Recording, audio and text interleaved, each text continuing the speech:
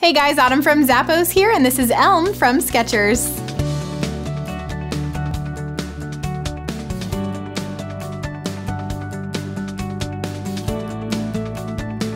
This boot is made with a really soft, leather textured microfiber fabric upper. I love the casual look and the knitted sweater design up top. It's easy to pull on.